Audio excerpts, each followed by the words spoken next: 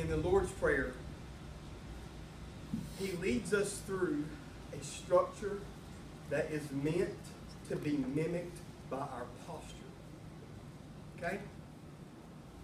We're going to run through these right quick, and then we're going to jump into some of the some of the invocations, some of the some of the beginnings of the prayer that'll help us understand what I mean by what we're going to talk about today. And what I, look, what I mean by structure and what I mean by um, posture is that the, the prayer flows in such a way that you'll find yourself on your face, you'll find yourself standing. You'll find yourself on your face, you'll find yourself standing. You'll find yourself with smiles and, and, and want to sing songs of joy, and then you'll find yourself wanting to ask for repentance and for forgiveness and a number of other things. You guys need another one? You guys need another one? I got another one underneath there. Here. Sorry, that's all right. There's none if you need it. There's two of you.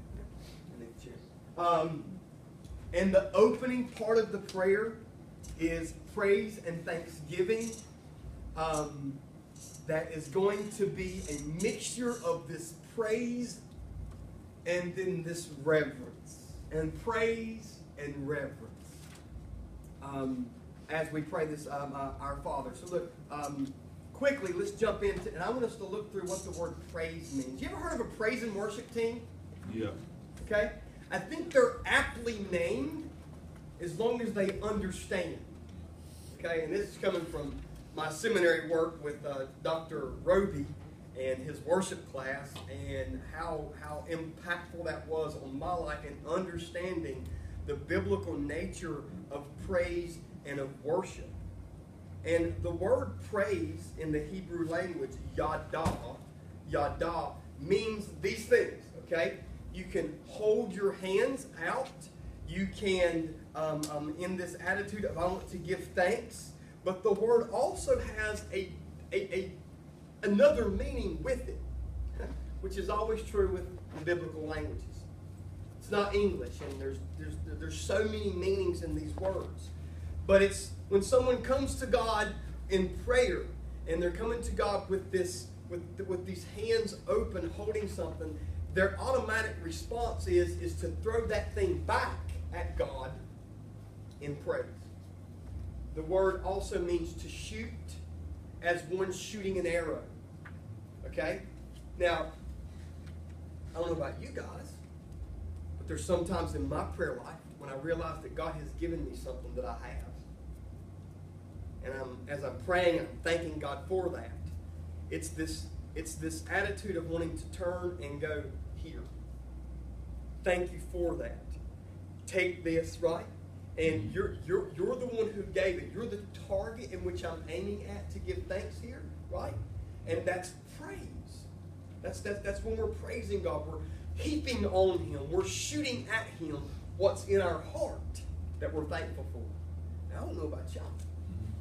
When we start in our prayer, you're going to see there's a whole lot to be thankful for in our Father. You may, I think I talked about this last week even. I laid down here for about six months. In my, when I learned this prayer 17 years ago, I prayed Our Father. I couldn't get past it. I prayed Our Father, and I, I would keep keep sitting here and thinking and saying, God, thank you for this. And y'all, over the years, that's built up more and more and more and more and more. I became more and more and more thankful. You know, God's just added to.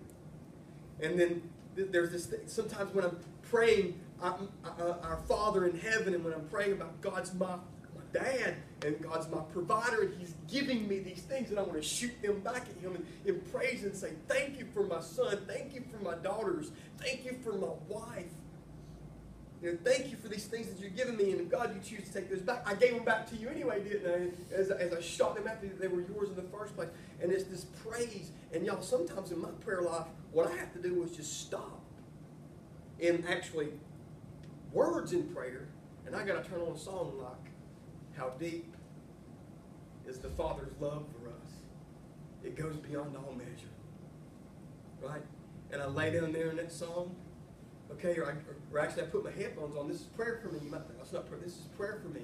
Put my headphones on and I go for a walk. And as I'm walking along, I'm looking at this and I'm looking at that. And as I'm hearing those songs in my head, I am saying, how deep is your love for me? Amen. It goes beyond all measure.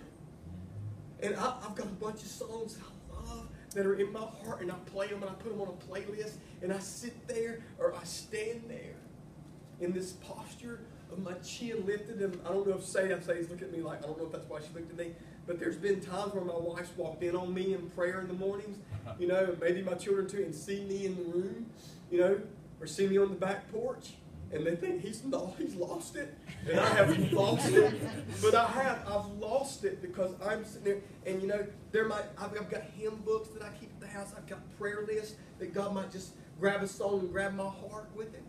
And I'll tell you what the, uh, this, how, how God uses this in my life, and we'll move on to another word, praise.